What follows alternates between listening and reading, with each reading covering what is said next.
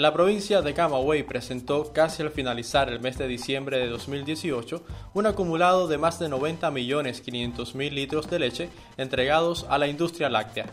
Lo acopiado suma 9.600.000 litros más que en igual periodo del año anterior, lo que denota el resultado del compromiso de los ganaderos camagüeyanos.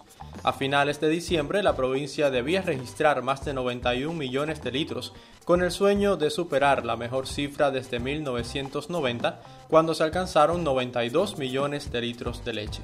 Llegamos en, el periodo pico a tener más de 82 mil vacas en ordeño y con un, promedio de 4,6 litros eh, por vaca y es lo que nos, nos trajo ¿no? poco a poco a ir alcanzando este resultado. Y de esto, el sector cooperativo representa el 76%, o sea que es una fuerza decisiva en, la provincia.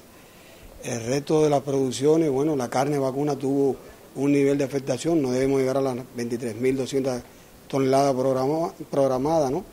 Debemos quedarnos unas 1.300, 1.400 toneladas por debajo del plan en cambio, la producción agroalimentaria en Camagüey no presenta resultados tan favorables este año, a pesar de los discretos avances que se habían registrado antes del huracán Irma de septiembre de 2017. En el caso de los cultivos varios, lamentablemente no ha sido un año bueno para la producción de los cultivos varios, una misión tan importante y decisiva para el autoabastecimiento y la alimentación de toda la población.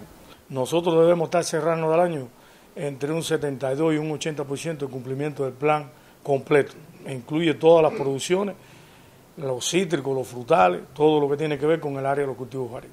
Yo creo que la provincia ha estado trabajando fundamentalmente en el desarrollo de los polos productivos, que se concentra ahí la mayor cantidad de estos planes que tenemos que llevar a cabo para el 2019 y que ya se está trabajando desde mediados del 2016, 2017 y el propio 2018 para crear infraestructura y realmente poder lograr al menos el abastecimiento que la población requiere. Además, Camagüey enfrenta el imperativo de incrementar las exportaciones tradicionales en la rama agrícola e incorporar nuevos productos que posibiliten ampliar los ingresos para el desarrollo del territorio y de la nación. El autoabastecimiento de la provincia cerramos el mes de noviembre con 14, 4 libras per cápita por habitante. No obstante, hay municipios, como el caso de Jimaboyú, que logra 7,1. Hay consejos populares que hoy no se abastecen, que tenemos que tener una red de comercio para poder llegar a las 30 libras. Hoy hay, hay municipios, como el caso Vertiente, que está llegar, logra más de 26 libras per cápita, por población. Es decir, que es un municipio que ha ido avanzando y el resto están entre 11 y 15 libras. La producción de alimentos en Cuba es un tema siempre presente en el debate popular.